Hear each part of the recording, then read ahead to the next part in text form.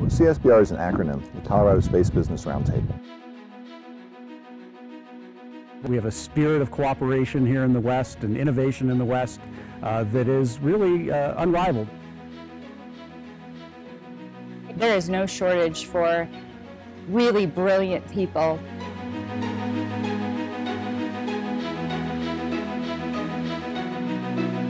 We've been mostly front range based, and the idea has always been how do we reach out to some of the more remote communities? This isn't just a road trip, this is a long-term strategy. And the road trip is just one stop to get us to that start of a really beautiful friendship. There are just some amazing people and organizations in all parts of Colorado, and there are certainly business opportunities. And you're finding that in these communities where quality of life is driving the decision to live in those areas, innovation is boundless.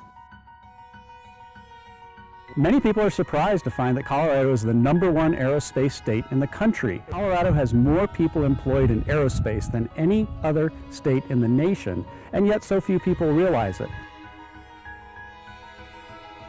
We've talked to some teachers and some students on this trip that have said, we want internship opportunities, we want some project-based learning opportunities, we want to know how we can be part of our own local economy.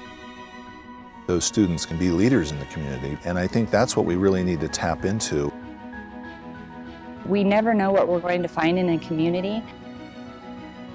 We've been able to connect with people that uh, we never would have even known existed. We certainly hope that we can continue this relationship, and we certainly also hope that you'll be inspired uh, to become a citizen advocate uh, for, uh, for space exploration.